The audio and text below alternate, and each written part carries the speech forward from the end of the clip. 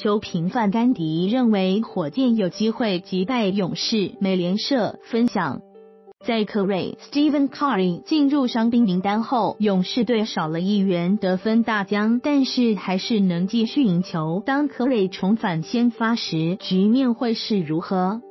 勇士队完全没有被这位两届 MVP 得主的伤势影响到，目前战绩二十八胜七负，全联盟排名第一。光从战绩来看，他们的优势还是难以动摇。不过，名球评范甘迪 Jeff Van Gundy 不会把话说死。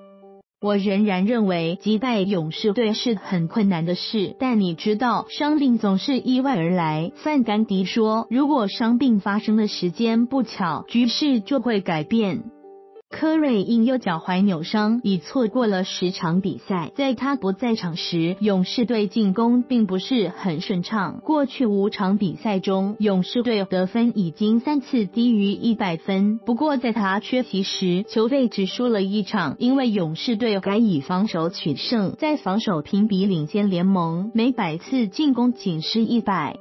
八分更让骑士队在圣诞大战的投篮命中率降至百分之三十二。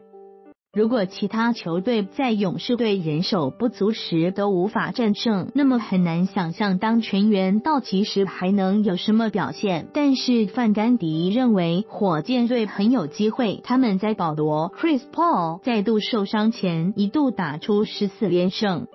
范甘迪说：“我认为火。”剑绝对能和勇士竞争，这两支球队都会进入西区决赛，而且不管谁出现都会赢得总冠军。